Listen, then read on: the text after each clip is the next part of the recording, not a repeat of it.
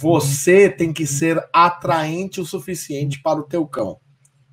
Você tem que ser um ponto forte de atração. Por quê? Você tem que se preparar, porque quando você for para a rua, o ponto forte de atração tem que continuar sendo você. E como você faz para ser um ponto forte de atração? Treine aí um vídeo que já tem disponível no meu canal para vocês, que é captura de atenção. Marque muito a atenção do seu cão no ambiente controlado. Ele presta atenção em você, você marca isso. Você marca e premia ele por isso.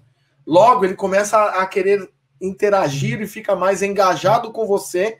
E um cão que é mais uh, engajado com você e presta mais atenção em você, tem mais foco em você, ele está mais uh, propenso a aprender qualquer informação que você vai transmitir a ele. Beleza? Então, seja um ponto forte de atração. Faça o seu cachorro pedir para estar ao seu lado. Gere vínculo no dia a dia com ele, dentro da sua casa. Ele tá para lá e para cá, sempre dê coisas boas no momento que ele está num bom comportamento e prestando atenção em você. Em outras situações do dia a dia, você vai gerar um vínculo muito forte com ele.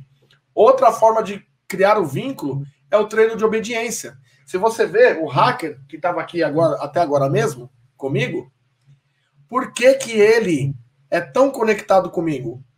Porque eu sempre treinei muito obediência com ele quando filhote. Ele participou de competições, eu formei ele.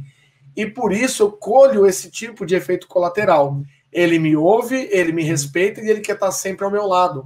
Então, treinar a obediência de modo adequado, com a metodologia correta, uma metodologia que produza resultado, faz você estreitar o laço de amor e amizade com o teu cão.